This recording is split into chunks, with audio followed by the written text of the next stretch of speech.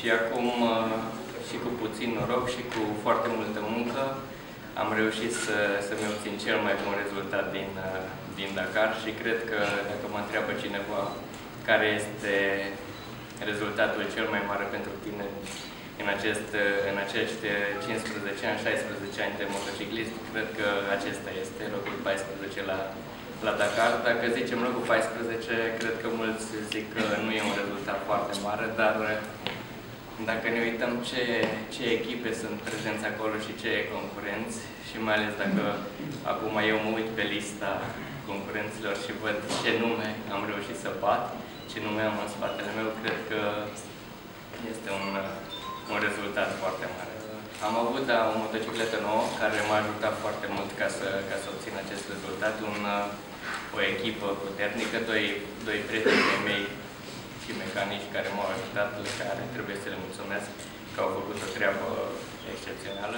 Am avut și puțin, puțin noroc, deoarece și motocicleta s-a comportat și s-a comportat foarte bine și nu am avut nicio problemă tehnică de-a lungul 9000 de kilometri și am încercat și eu să, să merg așa cum, așa cum, cum mi-am uh, propus de acasă, fără să, să am accidente mari sau să, să pățesc eu ceva sau motocicleta.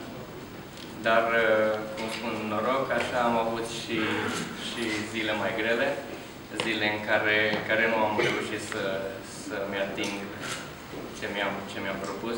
De exemplu, înainte, înainte cu trei zile de finish am avut uh, așa o greșeală mică pe care am făcut-o și eu și băieții care, care au alimentat motocicleta, nu, nu, echip, nu echipa mea de asistență. Și dimineața am plecat pe la 4 dimineața, atunci încă am plecat cu ochelari deschiși, că este întuneric, și am ajuns la startul specialei după vreo 3 ore, deja era 7 dimineața. Am vrut să-mi schimb ochelarii, să-mi pun ochelarii închiși. Și când am alimentat motocicleta, de fapt băieții care au alimentat motocicleta au dat cu benzină pe ochelari. Și atunci mi s-au stricat ochelarii închiși și am fost nevoit să merg toată ziua cei 480 de kilometri cu, cu ochelarii deschiși. Și nu am mai văzut diferențele de nivel, nu am mai văzut uh, obstacolele clar care sunt în fața mea. Și acolo am pierdut în ziua respectivă minute prețioase și cred că acolo am pierdut și locul 1 la clasa maraton, de este numai locul 2 aici, din păcate, dar uh, am spus și de la începutul concursului că nu, nu asta este cel mai important lucru anul acesta pentru mine, să obțin locul 1 la clasa maraton, ci să facem un rezultat bun la, în clasamentul general, să ajung în top 15, am reușit să, să obțin ce mi-am propus și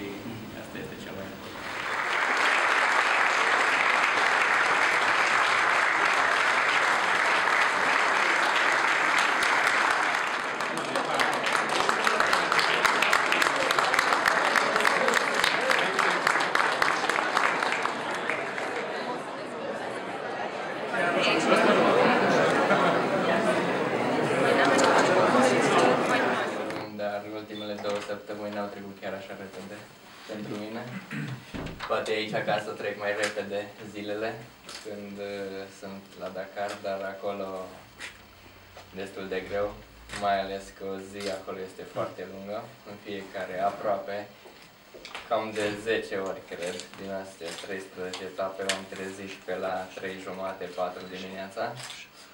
Uh, da, așa, medie ora 4 este ora de trezire pentru noi. Uh, este foarte greu să mă trezesc. Nu de aia că și acasă mă trezesc, dar acolo cum uh, se adună oboseala și zilele cum trec, este tot mai greu ca să, ca să faci față.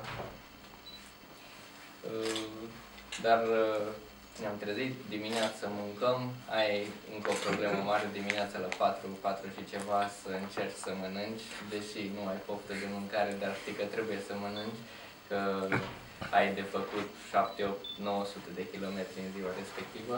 În timpul zilei nu prea mai avem uh, unde să mâncăm, mai mâncăm o ciocolată sau ceva ce ducem cu noi, doar cât putem să ducem cu noi și, și atât. Prima săptămână din, din acest Dakar a fost una foarte rapidă. Nu m-aș fi așteptat să fie așa rapidă. A fost și destul de, de ușor, de ușor uh, în primele zile. Nu am avut porțiuni foarte grele. Am avut doar porțiuni lungi, dar nu, nu foarte grele fizic și nici tehnic. Acolo trebuia doar să reziste motocicleta, să mergi câte sute de kilometri pe zi în, în plin cu ea, nu a fost nicio problemă, a ținut motocicleta. După aia, la sfârșitul săptămânii, am avut, uh, iarăși, traseul nu a fost foarte greu, dar am avut eu două zile mai grele în Bolivia. Ultimele două zile din prima săptămână au fost în Bolivia. Acolo eu am avut niște dificultăți uh, cu altitudinea. Am avut uh, probe speciale care au fost la 4600 de metri altitudine. Am avut dureri de cap în ziua respectivă, chiar m-am dus și la medical să-mi dea să-mi dea ceva medicamente pentru altitudine. Atunci am avut uh, rezultatele 25, locul 30 în zilele respective, de aia zic că au fost zile mai slabe pentru mine.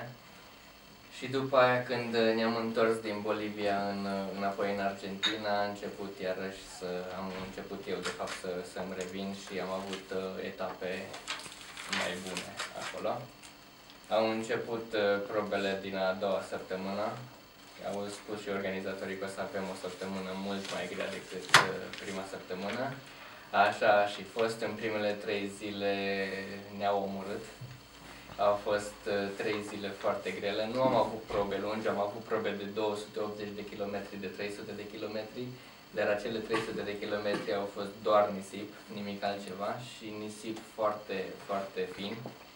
Uh, și iarăși temperatura ce a avut un rol important au fost peste 40 de grade acolo și de aia au fost și două probe speciale care le-au scurtat organizatorii din cauza temperaturii care, care ne-a așteptat acolo. Uh, noi, piloții din față, din primii 20, primii 30, nu cred că am fi avut probleme. De aia mulți piloți de acolo din față au și, au și făcut așa puțin scandal în ghilimele spus că de ce au trebuit organizatorii să, să scurteze traseul, dar uh, aici problema ar fi fost cu concurenții care sunt mai în spate, pe la locul 100, locul 110-120, care nici nu au experiența necesară. Și ei, fi, ei uh, dimineață pornind și cu o oră în spatele nostru, deci noi am plecat, să zicem, dimineața la ora 6, ei au plecat la ora 7 dimineață și mai au și acel uh, acel uh, dezavantaj că sunt mult mai în spate. Pe ei au prins cea mai mare căldură în mijlocul deșertului. Noi deja am ieșit din, din deșert, aproape piloții din față, dar ei au fost cei care au rămas în deșert și pentru ei a fost acea scurtare de probă, ca nu cumva să, să fie probleme sau să se deshidrateze cineva și să rămână în deșert. Chiar au mers elicopterele în deșert și i-au oprit pe concurență, au dus apă cu gheață, i-au, i-au răcit puțin și i-au scos din, din traseu. Ziua respectivă erau și ceva probleme de comunicare, nu? Adică mulți n-au aflat că până la urmă s-a prescurt. Păi da, normal.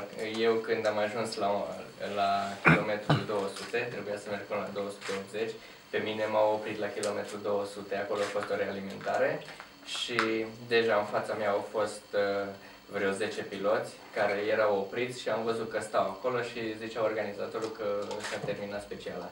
Dar primii 10 pe primii 10 nu i-au oprit acolo, primii 10 au plecat până la finish. Asta a fost problema. Iar cei din spate, pe cei din spate i-au oprit pe la kilometru 90. Deci nu ne-au oprit, de aici a fost și scandalul, că de ce nu i-au oprit pe absolut toți concurenții, să zicem, la kilometru 200, și și pe primii, și pe mine, și și pe cei care vin din spate și atunci are fiecare un timp și așa. Dar cel care a fost oprit la kilometru 90, l-au primit o penalizare foarte mare, de ce nu a ajuns până la punctul acesta. Și așa nu au fost uh, mulțumiți concurenții că nu, nu a parcurs fiecare concurent același parcurs. Asta a fost problema. Iarăși am avut uh, zi de nisip. Aici mai trebuie să zicem că a fost zi maraton, când nu m-am întâlnit cu echipa de asistență. Din fericire nu am avut probleme mari seara ce să trebuiască să remediez, doar uh, mi-am rupt uh, apărătarea de mână de la ghidon. Am avut o căzătură aia, mi-a fost cea mai mare căzătură în acest Dakar. Uh, chiar în ziua maraton a fost, din păcate, dar uh, dar nu am avut mari probleme. Am mers în praf, am vrut să depășesc pe cineva și am dat peste o piatră mai mare. Prea târziu am văzut acea piatră și m-a dat peste, peste ghidon.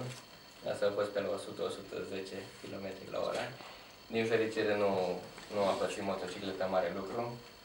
Era acolo cu spectatori, pe când au ajuns spectatorii la mine, eu deja m-am ridicat, am ridicat și motocicleta și deja vreau să plec. Uh, seara când am ajuns în Bivoac, acolo în ziua maraton, am dormit într-o, într-o școală, fiecare, erau băncile scoase din, uh, din uh, clasă și fiecare dormeam pe jos, dar nu era, nu era frig, acolo era chiar foarte cald, nu a fost o problemă mare că a trebuit să dormim pe jos. Au văzut că ți-au pus poză în chilotă. Eu era. Da, aia, aia, aia a fost în, în prima zi de maraton, în prima săptămână, aia era altundeva. Așa mi-au spus și mie că m-au văzut undeva. Eu n-am văzut încă poza respectivă. Dar acolo nu numai eu, foarte mulți concurenți așa am stat acolo. Acolo ne dă organizatorul o geantă în care ai prosop, pastă de dinți, papuci, un tricou, pantaloni scurți, ca să, ca să poți să ca să poți să te schimbi de echipament și să stai așa. Acolo toată lumea a stat în aceleași haine, parcă eram niște asistenți fiecare. Așa am stat. Și probabil că mi-au făcut poza respectivă încă n-am apucat să mă schimb. Era din prima săptămână. Da, și după aia a venit uh, sfârșitul cursei, când deja am început, uh, am ajuns pe locul 13. Din, după aceste două zile de nisip grele, am ajuns până pe locul 13 la general. Și atunci, după nu știu câte zile, am, am, am dat și de internet, că în Bolivia nu prea am avut internet și citeam comenturile care, care sunt la poză. Acolo deja toată lumea mă împingea spre top 10 dar așa e, cred că dacă aș fi fost pe locul 9-8, deja toată lumea mă împingea spre top 5, dar este foarte greu. Eu știam când am ajuns pe locul 13 că nu am cum să ajung mai, mai sus.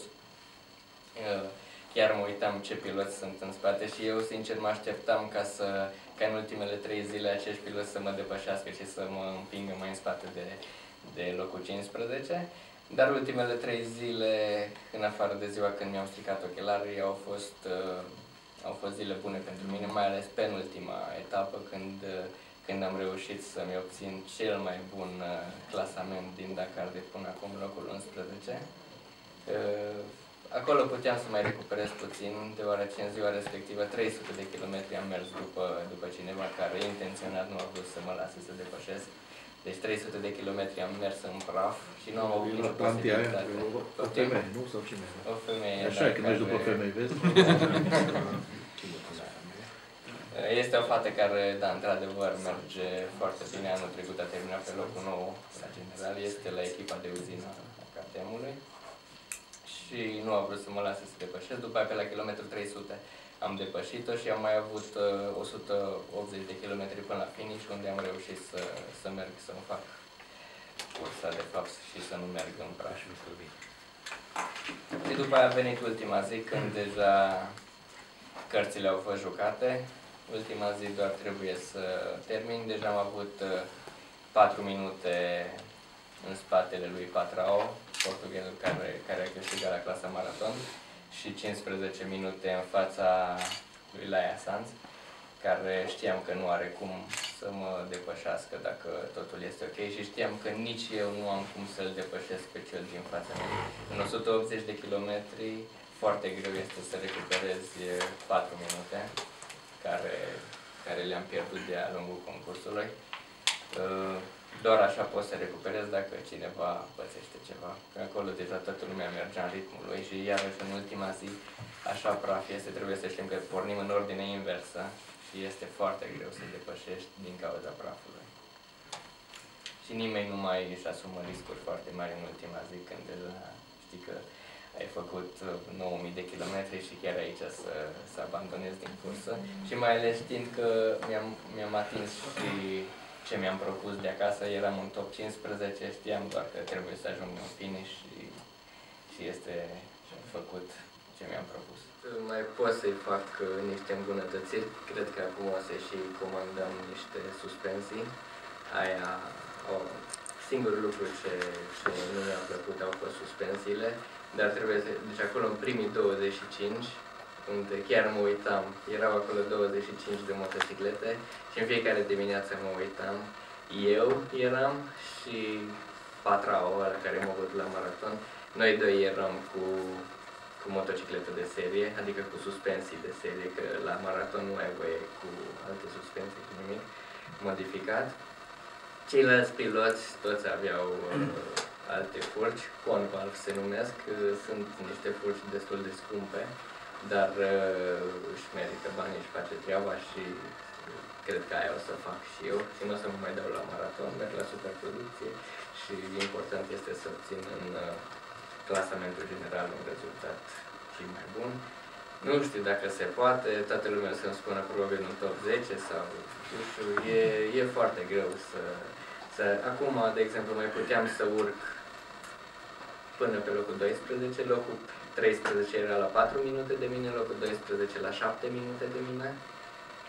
Uh, ăștia 7 minute mai pot să recuperez cumva, dar deja locul 11 era la 30 și ceva de minute, deci deja era peste o jumătate de oră, locul 10 era deja aproape la o oră și Toby Price m-a bătut cu 3 ore și ceva. Deci acolo deja sunt, sunt uh, diferențe foarte mari, dar cum mă uitam acest, acest timp față de mine și de locul 1, în fiecare an scade, în primul an, de exemplu, în 2007, când am fost la primul meu Dakar, am terminat, am terminat pe 46, dar uh, timpul meu față de a lui Cyril de Pre, care a câștigat atunci, era de 12 ore. Deci eu m-am dus cu, cu o zi mai mult ca și, ca și el și după aia a scăzut la 7 ore, la 5 ore și acum am scăzut deja la 3 ore și ceva. Deci asta e bine că tot uh,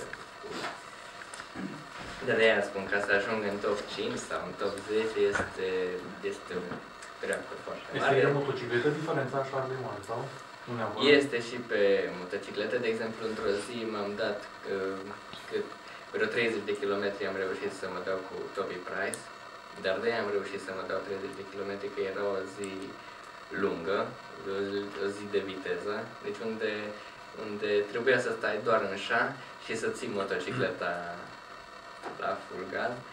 Și Toby Price, da, era... Tot ducea? Mergea. Deci eram și eu Mama, plin. Deci acolo nu, nu aveai ce să zici că el e pilot mai bun sau eu sunt mai slab, că acolo fiecare știe să tragă de gaz pe o linie dreaptă. Și motocicleta lui, identică ca așa mea, motocicleta lui pleca. După aia de aia zic că puteam să stau 30 de minute cu el, că veneau și niște de, denivelări, așa când urcai și nu vedeai ce vine după, după creasta, el acolo era nevoit să închidă gazul, să vadă că nu vine o curbă sau ceva, iar eu fiind în spatele lui, eu nu mai închideam gazul, vedeam că el, el. Da, vedeam că el trece fără probleme și atunci iarăși puteam să mă apropiu de el și așa puteam să, să țin uh, o jumătate de oră sau 30 de kilometri cu el dar pe liniile drepte pleca. Era o motocicletă identică ca așa mea, dar cei de la uzină totuși întotdeauna sunt un pas în fața Și era suspensiile. de uzină. Putem? Să urci în este o motocicletă de uzină. Uh, nu, neapărat că am văzut uh, l-am văzut pe Svitko.